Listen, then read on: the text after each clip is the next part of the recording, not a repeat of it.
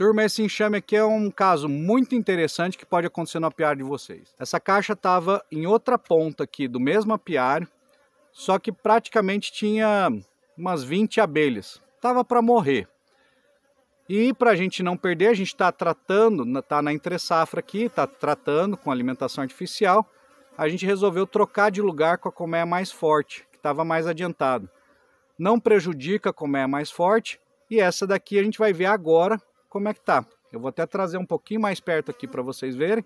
A gente vai dar uma revisada para ver se as campeiras elas conseguiram aumentar a quantidade de abelha aqui interna e a gente, claro, tirou de outra colmeia, tiramos quadro de cria novo, que cria nova, para ver se elas conseguem puxar aqui naturalmente uma realeira. O ideal seria a gente ter realeira, mas a gente está passando aqui, não sabia que estava com problema, mas a gente já resolveu de alguma forma. Na próxima visita a gente pode trazer uma realeira, uma rainha ou uma princesa para fazer a introdução. Então vamos lá. Aí, vamos abrir agora aqui. Olha, abelha tem. Abelha tem e aqui nós demos uma alimentação, Ivan? Não? Deu. Então tomou tudo. Alimentador. Só que a gente colocamos pouco. Colocamos menos. Colocamos aqui em torno de 350 Isso. ml. E o alimentador hoje está vazio, ó. E já tá com bastante abelha, puxando até cera aqui, ó. Vamos ver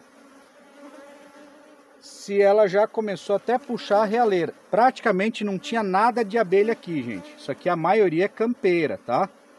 Então, passa mais uma fumacinha aqui por cima, por favor. Aí, estou. Maravilha. Então a gente colocou os quadros dela que estavam já com cria, e ela já depositou aqui o alimento nesse favo novo aqui. Então a gente continua deixando. E, ó, tá puxando cera desse lado também. Isso tudo porque as campeiras já estavam também bem alimentadas. Esse é o quadro que a gente colocou de outra colmeia. Um dia só é muito difícil ela querer puxar a realeira, tá? Mas vamos analisar aqui, ó, ainda tem muita cria nova, apesar de ter cria fechada aqui, que é importante também. Então, possivelmente, está cheio de cria nova ainda.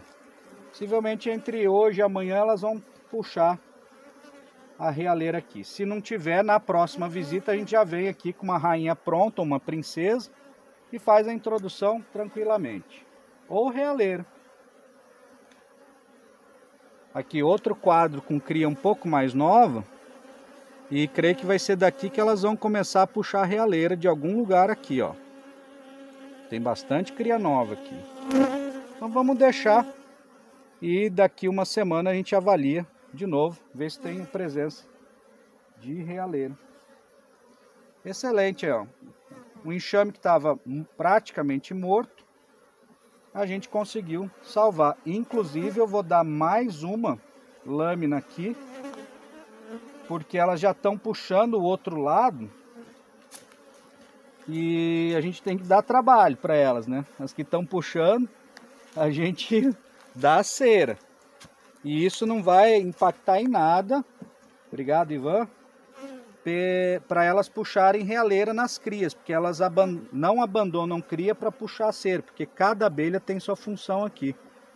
Então, se estão puxando, a gente oferece. Elas estão pedindo, a gente oferece. E é isso aí.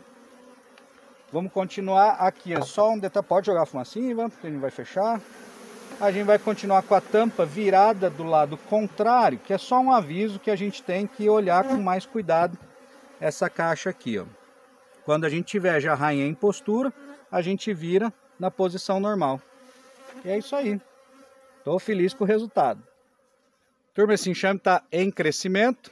É, a gente vai fazer um manejo que eu recomendei no nosso mini curso é, da alimentação é, líquida, energética e proteica. Ivan está colocando aqui o alimentador agora.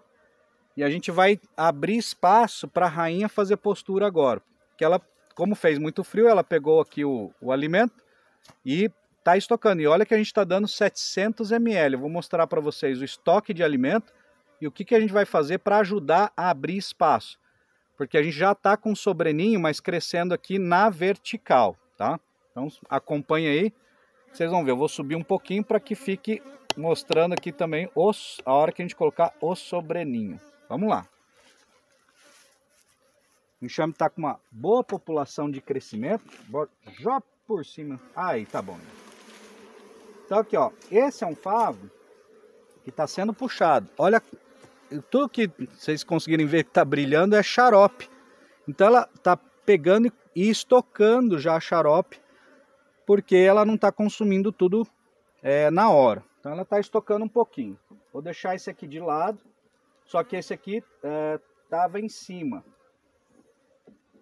Ah, perdão, a lâmina estava em cima, é que eu já tinha colocado aqui, mas quando eu vi esse favo aqui com bastante xarope, ó, aí ó, tem bastante xarope, ó, e já tá com uma quantidade de área puxada muito boa para a rainha fazer postura.